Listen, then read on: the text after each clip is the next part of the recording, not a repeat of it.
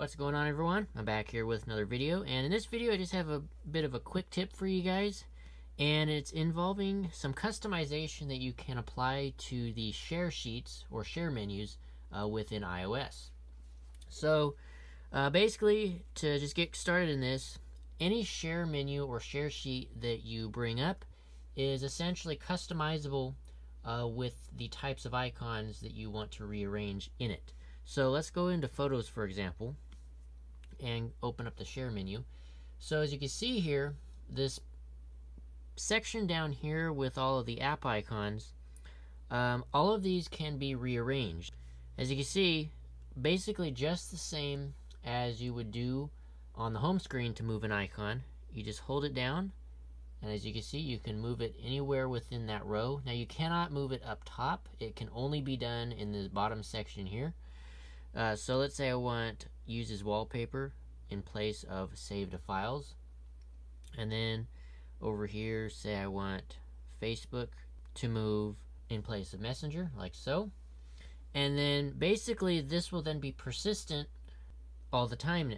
So basically this will now be persistent. So if we go out and close out of the Photos app, and then if we go back in and say let's do a different photo, and you go back to that share menu, as you can see your icon arrangement has been saved and those icons will now basically permanently be uh, in that section position until you decide to change it later on.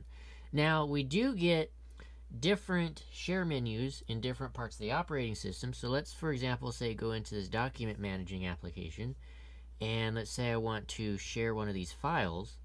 Open up the share sheet again.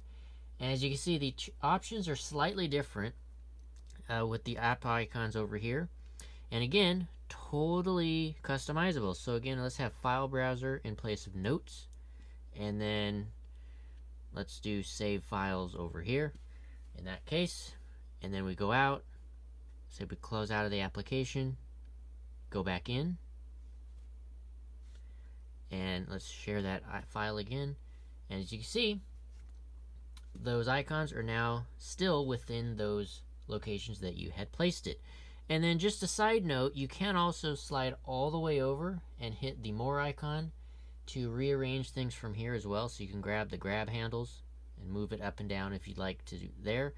And then of course, many of you may already know this, uh, but you also have little switch toggles to hide or unhide uh, specific options. So if you only use maybe one or two items within the menu, you can turn off all of the rest uh, so it doesn't clutter up the menu for things that you don't use.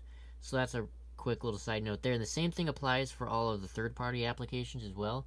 So if there's a bunch of third-party apps that you do not use or need in the menu, you can turn them on or off straight from here. So super, super nice. So that's basically it for this quick video. I uh, hope you guys have enjoyed. Uh, make sure to hit that subscribe button down below. It's greatly appreciated. Hit that thumbs up button as well. That is also greatly appreciated. And if you guys have any questions or comments or anything of such, just drop them down below and I will get back to them as soon as I can. So with that all being said, hope you guys have enjoyed and I'll see you guys in the next one. Peace out.